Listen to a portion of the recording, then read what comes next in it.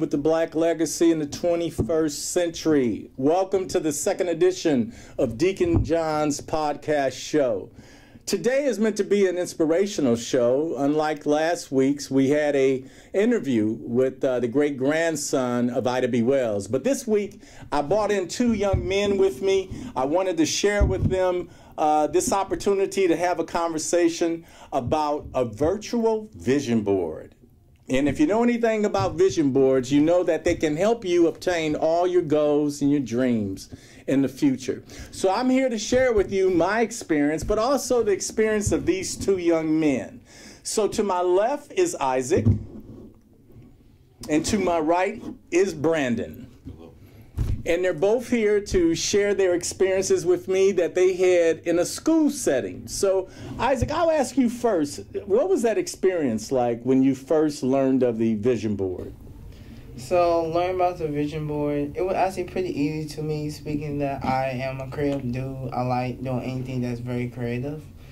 So, it was very fun doing it to put my dreams down, actually on something, and actually plan out and see what I'm going to do to be able to achieve this dream. Okay, excellent. And Brandon, you mentioned that uh, you also participated in the vision board process. What did you learn from that? Um, re- from the process itself, um, just being able to, like Isaac said, just being able to like put down my dreams and like my goals and um, future aspirations. Just, it was just like very a very like liberating experience to say the least. Because just being able to like visually see my dreams, my goals, my aspirations, just put it down on paper and not like jot down the steps I need to take in order to reach those things. It was just, it made it simpler in a sense. Not like I didn't, it, it helped me not blow it out of proportion basically. Because I feel like a lot of the times when I think about it, that's what I tend to do. I blow things out of proportion. Like I gotta do this, gotta do that. But just being able to like write it down, just jot it down, it, it was very like, it made it simplistic for and I think, you know, that's exactly what a vision board does. It helps you, first of all, keep your vision, your dream in front of you. And it does look simplistic, and it is simplistic when you can see your future before you. You know, I like to think, and I tell people, gentlemen, that, you know, you have already obtained that which you desire. You just haven't arrived there yet. And a vision board is a good way of getting you there if you follow the steps. So, what are the steps in creating a vision board? Somebody want to help me? Mm, so, the steps is mainly think about what do you actually want to put on the board. Think about what do you are willing to achieve or goal do you particularly want to reach. Once you figure that out, then you're able to put things on vision board and put things that are necessary has to do with your goal. So let me use an example. Let's say I want to buy this car.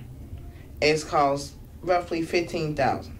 What am I going to do to particularly get this car that I want? And the steps you can take is start applying for jobs. Like list out jobs like, oh, I can work here, I can work here. Something that do with your talent or something to do with your skills. Or you you have like multiple options of getting that vehicle. You can ask people, even though I don't suggest that. you, you don't be in debt. That's all I gotta say. But once you figure out how to get that car, it can be a vision board can be used for multiple things other than that also. Let's say schools. Post what schools on your vision board you can then list out equalities like, oh, this school offer this, but this school offer this. Then don't forget about the main important thing is cost. How much are you willing to pay for school? How much you willing to pay for the tuition and all this stuff and able to go there? Or what type of scholarships do they particularly offer where you're able to get the money to go there? But overall, my message is that vision board can be used for anything. As long as you have the idea in your mind or a goal that you have that you're wanting, you have to be wanting to get this, then uh, making a vision board is easy. And I agree. And Brandon, do you want to add to that? I mean, that was a mouthful. Huh? I'm pretty sure that he just really said it. kind of summed it up, huh? Right. Yeah. Um.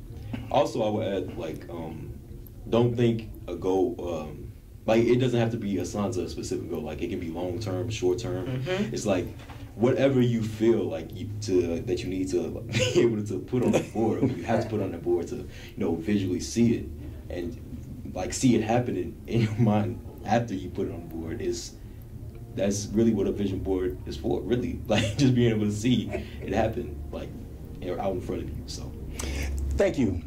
And, and thank you, sir. No, great comments, you know. Um, and I think that when I talked with you guys yesterday, when you kind of learned, you know, how I achieved my vision board, we didn't necessarily talk about the vision board as much as we talked about the process mm-hmm. after the fact, right? Mm-hmm. So let me tell you what my experience is in creating a vision board and why I needed one. First of all, I've got a original copy of my vision board. This is it. Okay? So that's not much, right? But it actually is because anytime that you put anything on paper, you give the universe permission to make it work, to manifest, right? The key is putting it on paper. But let me take it a step further. And let me tell you why I believe I achieved my dream. Because for me, it's not just a vision, but it's a dream. And first, you got to understand where dreams come from. Dreams come from God. God plants that in our hearts. He plants that seed of, of thought. You know, He gives you that dream, that desire. Now, a lot of people may not realize that, but that's something that I think I realize. And I'll tell you why. This vision that I had, this dream that I had, wasn't necessarily motivated, inspired by something I wanted for myself. I wanted this for the community. Now, there's not a lot of people that you're going to talk to that are going to tell you that, you know, my dream is to do something great for the community. A lot of people are going to do it for themselves. They see that car. They see whatever it is, short term, long term, what they want, but it don't have nothing to do with community. Now, the way that I got inspired by helping out the community, it was a neighbor of mine who was eight years old when I moved to Wisconsin. You learned, you, you heard this story, right? And when I came back from Wisconsin to Chicago, he was at 14 years of age. But by that time, he had gotten involved in a gang. And I'm taking notes. I'm watching him change over the years, and I'm saying to myself, my God, somebody needs to get a hold of this young man. I said, because this young man is headed down the wrong path. You know, his mom and his dad divorced.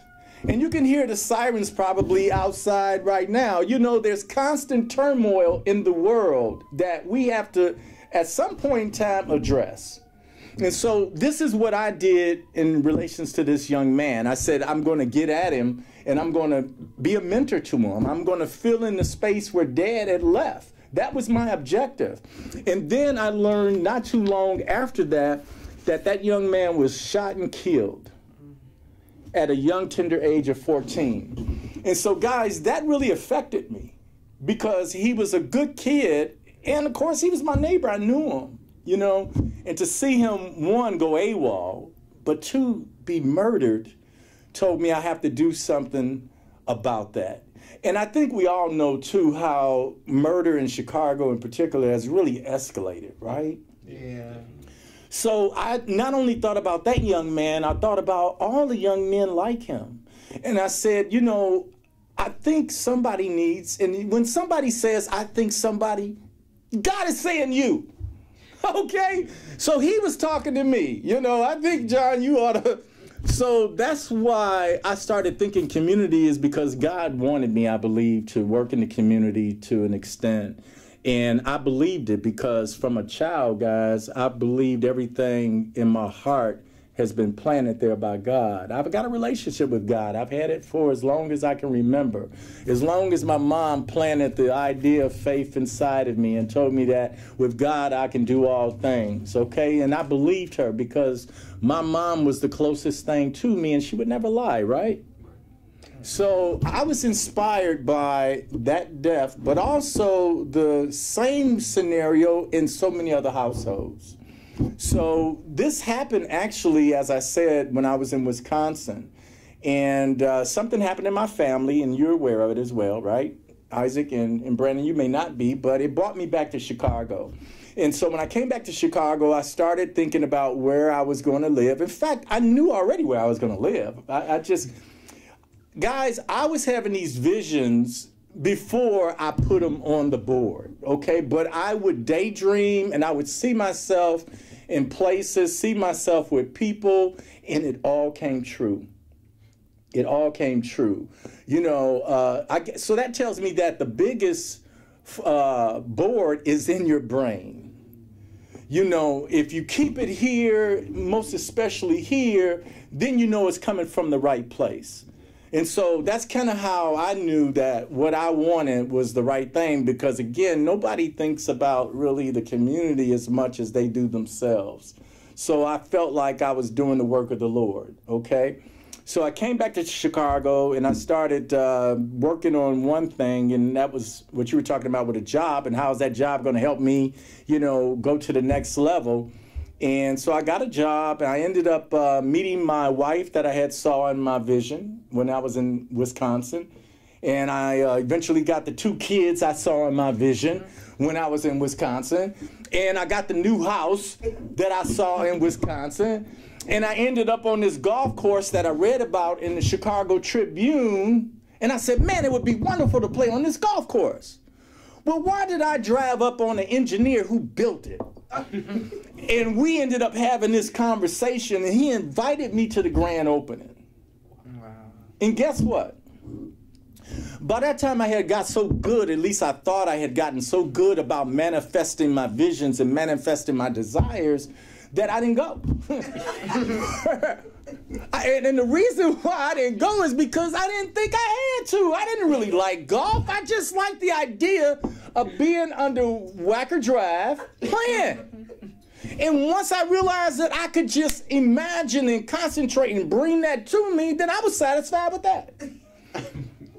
But I don't vision board anymore because I, I am a powerful manifester, mm. and I know that, and I know I know how to do it without physically putting it on a board. I know how, I, you you know you have to. You want to know how to do it? Absolutely.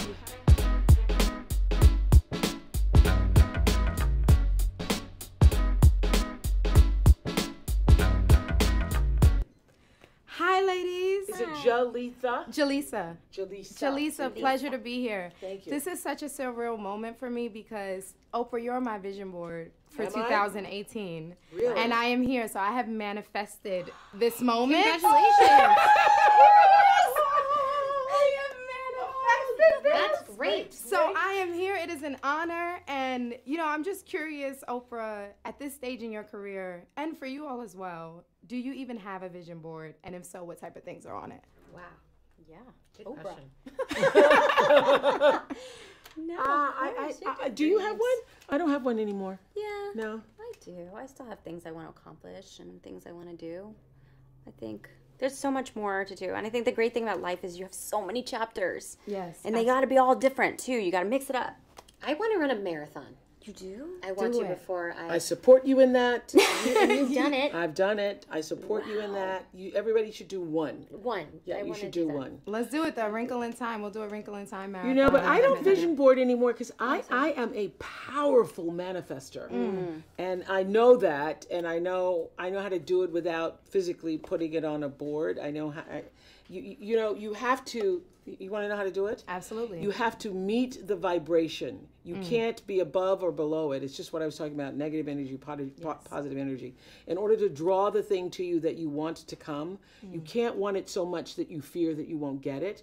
You mm. have to want it. So, in, in order for me to be on your vision board, you must have put it there and then you let it go. Yes. And then you weren't thinking about it every day, every day, every day. Because you can't, it doesn't come to you that way. You have to do it and then you have to put it and then you have to meet that vibration. You have to prepare yourself to be there and ready when it shows up. And you were, Jaleesa, you were there. Oh, I'm so happy to be here. That's such a word, and it makes me think about in a wrinkle in time. There was so many powerful messages that were very spiritual, very deep, and I just want to touch on them for a second. So the first one, you know, they said you can you can fear the answers, but you can't avoid them. And I'm curious, over throughout your journalism career, have you ever asked a question that it was difficult for you to hear the answer to? Uh, yeah, I actually have, and I won't tell you who the person was. I got I got really shut down by someone who said that's a stupid question, and it would be the person you least in the world would expect to say that, which is every journalist's fear. You know, to be in a position where you ask a question, and the person said, "Well, that's a stupid question," and um, I refused to let myself be shut down, but I was so taken aback by it. Uh, and then you, then I was like, well, was it stupid or was you, you, you didn't understand what I was saying?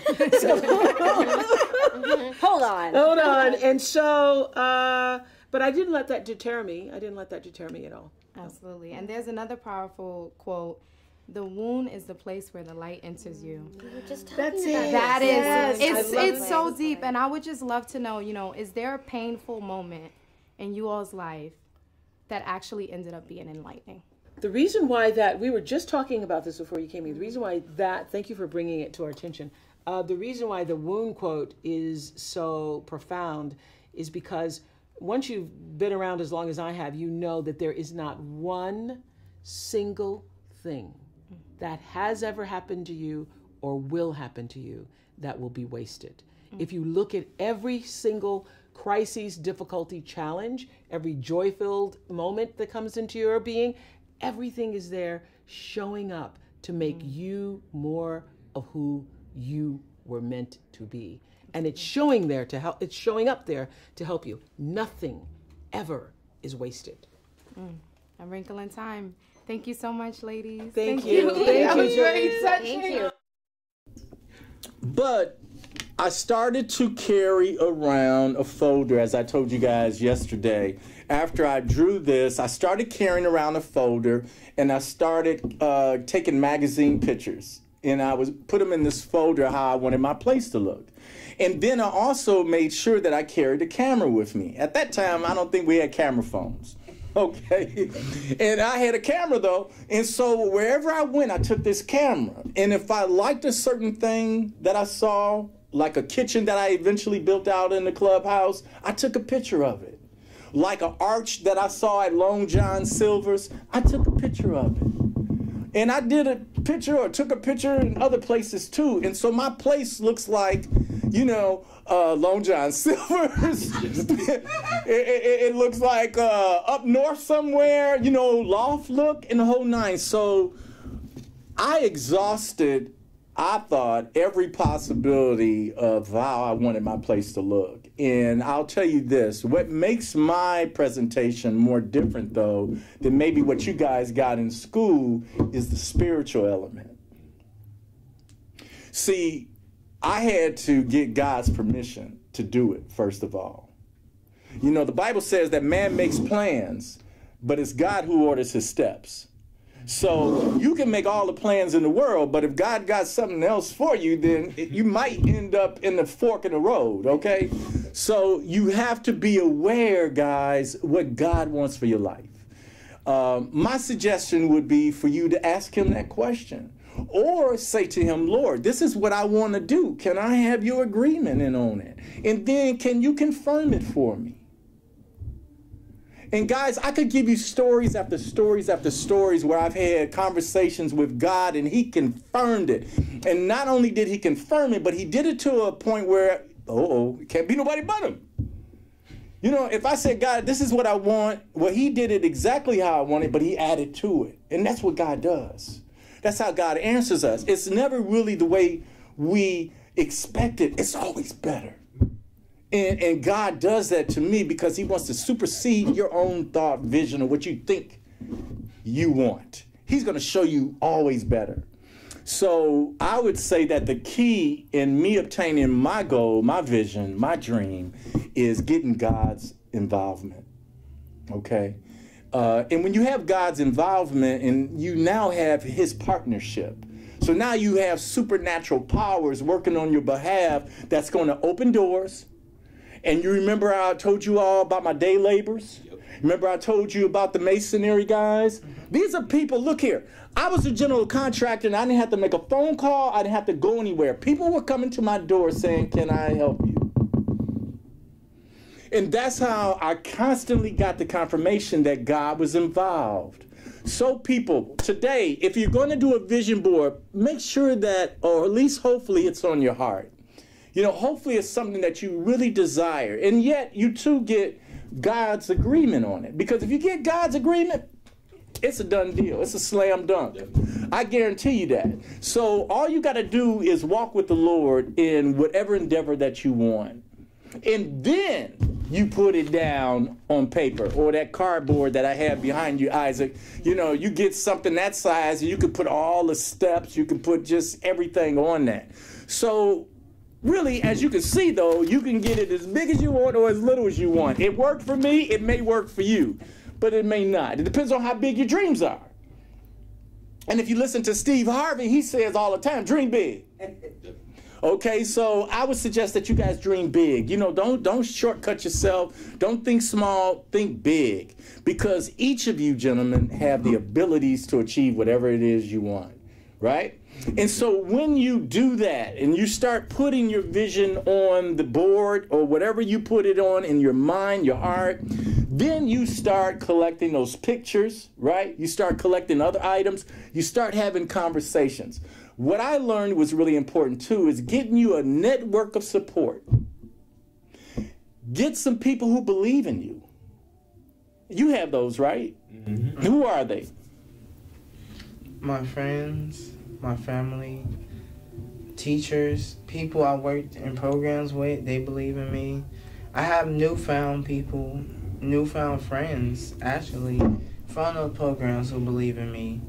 It's like when I go do things or I learn new, go to learn new skills, it's a lot of people who believe in me because they realize the things I say and realize the things I think that oh he's genius oh he's smart oh, oh he's this he's a very talented person and they can stand by that they can see what I see and I also can see what they see so they stand by me I stand right right them Yeah, and, and that's so key though. Wouldn't you agree, Isaac? Yeah. Uh, that is so key. And so Brandon, you would agree to that as well? Um, yeah. Uh-huh. I've I found that, and this was not too long ago, because up until like before that point, I didn't really notice it, but I notice now that almost anywhere that I go, people kind of um kind of attract to me. I'm not I'm not trying to boast. No, we know that. But it's like people kind of attract to me, and I, I personally feel like that's God given. I thank God It is for doing that because I've been able to have so many opportunities, experiences, um, relationship bonds. It's, it's, it's been amazing. So yeah, So it is God. Yeah. And if you believe it, it is. Yes. You know, I like to say that. That if you believe it is, it is. yeah, Because God put that in you. You know, uh, and I felt the same way and still feel the same way that it's something that people see that I don't see that God put on you. And so you're a child of God. That's what you are. You're a child of God. Both of you are. And it's obvious, you know, and so accept that role. And it's got to be so different and difficult for you guys to some extent because of the peer pressures that you got to deal with. Right? I mean, it may be easy sometimes, but I think most of the times you kind of fighting against some of these forces, elements that are out here that are temptations, if you will, or, you know, aggravators right? So it's important to know one that you're God's child. That means you're accountable to Him, right? And you're going to be responsible. So that's a good thing, though, because you know that you have someone to uh, report to, if you will. So what I did was I shared this dream and vision with God on a daily basis. You know, I would repeat a mantra or affirmations that, you know, I'm going to get this place, it's going to be such and such a place, da da da da da da. And then you guys saw on yesterday where I ended up purchasing my clubhouse, right? Right across the street from a school where I wanted. And at that time, it had been sitting there probably, and I'm guessing, but I know this is a great guess, and it probably was many more years. My building was sitting there for at least 10 years, for the most part, vacant, you know. Uh, and when I say vacant, there was no activity other than the man keeping his dog in there and storing old appliances. He would maybe fix them and sell them from there, but it was a decrepit old building. You guys saw the pictures, right? Yeah. So the key thing or element for me was location. If I wanted to, if I wanted to uh, work with kids, right? Work with youth, particularly black youth. Look what I did. I got posted up with the second oldest African American community in the United States and the oldest African American high school in Illinois. So I got the perfect spot. Now, I didn't even really think of that per se as heavily as I thought about the building itself. When I looked at it, I said, that's going to fit my budget. You got to know that. Right? You got to know that. You, you know, it would have been nice if I could have got this big monstrosity of a thing, but then I wouldn't have been able to afford it, fill it up. So I knew it just felt so good. And then, if you guys recall, when I showed the picture of my neighbor Jim looking, he Jim was like, "What the?" he was trying to figure out what is he doing. And later, he would tell me with my mom that I'm crazy. They thought I was crazy. And so, guys, I say that to say, when God is for you, who can be against you? And not that my parent or my neighbor was against me, it's just that I wasn't listening. You have got to believe in yourself, and you can't let anyone tell you nothing that you know right here. And what I'm talking about is if you know you want something and that desire is strong, you don't tell you don't let anyone tell you can't do it. You don't let anyone tell you to do something else. You stick to what it is that's in your heart. And I wouldn't let anybody sway me. I had guys trying to say, oh man, we need to change this into like a stripper club. no, dude, that's not going to work. That's not my vision. I, I got more community minded, you know. we can't do that, right? You know, because their thoughts was making money. And there were other ideas out there, but people were thinking about making money. Guess what I was thinking about? Saving the community. Okay? Mm. So, what I tell people is that when people offer their opinions, ask them to keep it. Now, if you got your experience, I'm, I'm willing to listen. Right. But don't tell me what you haven't tried. All right. So, as it was, those guys weren't attracted to my offer, which was serving the community. So, we know what they did. They backed out. And I was happy. I didn't tell them. But I'm like, I don't have to deal with that because I knew what I had. So, you got to be really sure about what you want. Right? And I'm telling our audience the same thing. You got to be sure what you want. One, you want to believe in God, and you want to believe that whatever it is that you desire, that God planted that in your heart. And it's really up to you to make it happen. The Bible says faith without works is useless. So we could all sit on the couch in our little comfy chair, and we can have that little imperial margin king, uh, king or queen uh, crown sit on our heads, and we can act like things could just pop the magic dragon like that, but it doesn't happen. The world, the real world, doesn't happen like that. We have to go out and work it. We have to work our dreams. Now, the only way that I got that place looking the way it did, you all saw it. I mean, there was a lot of work that went into that, but there was also a lot of support. And it was a lot of support that I didn't ask for. People just came. So, the important thing is to get started and get started right away so you won't lose any momentum. And then you want to affirm what you want each and every day. And you want to pray on it, guys. You want to pray on it. You know, once you gain God's approval, it's done. The only difference is it separates you time. That's the only thing that separates you. So I just want to say before closing, what did what impressed you the most about uh, the presentation on yesterday? Would like. I, I think this is like obvious, but just the general, just the idea of knowing like you you were able to with God, of course, you were able to um, just build it from the ground up. Like literally, like we were seeing pictures and like photos of like how it was. Like you, it was stairs like right in the middle of the basement.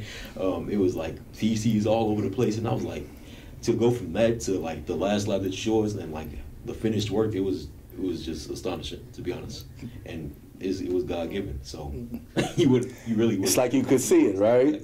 Thank you, thank you for that. What about you, Isaac? You know anything different? Yeah, the story. The story is told like, oh my, you came a long way, a very long way. You came from this sheer idea to now it being real life right in front of you. Then, like Brandon was saying, the building changed massively where it was a huge mess. Everything was everywhere. It was not clean. It was dark and all this stuff. To now a bright, full, full, beautiful place. By the way, with the pane windows up top and people throwing parties or different type of occasions in it. Man, you outdid yourself on that. Thank you. Uh, when you say, you know what, I, I, I try and remain humble, guys, because I get emotional. Um, and they'll never go away because I know that I didn't do it. All I did was be obedient. So I'm asking you today to be obedient to your dream. Be obedient. Don't cheat yourself. If it's something that you really want, go after it. It's yours.